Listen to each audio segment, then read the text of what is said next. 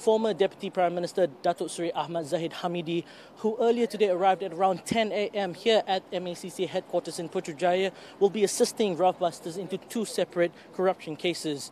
Now, as you can see right next to me, the amount of microphones that have been set up has shown you the amount of interest not only local but also foreign media have taken into this issue. Let us find out more about this case and whether or not this will be the breakthrough we've all been waiting for. Datuk Seri Ahmad Zahid arrived at about 10 a.m. in a black Toyota Vellfire and was seen in a cheerful mood as he smiled and waved to the media, waiting outside the main entrance of the building before he was escorted in by MACC personnel. The former deputy premier then exited the building at 6:30 p.m.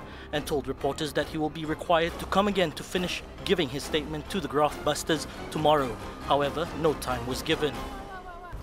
Tadi saya baru selesai memberikan uh, keterangan uh, terhadap isu 1MDB.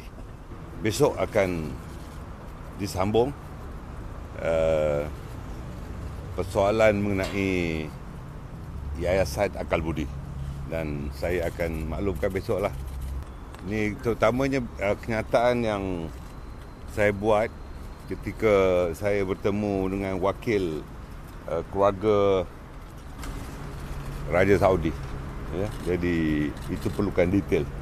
Ya, kerana uh, maklumat itu cuma diperolehi daripada media. Jadi saya berikan detail kepada mereka.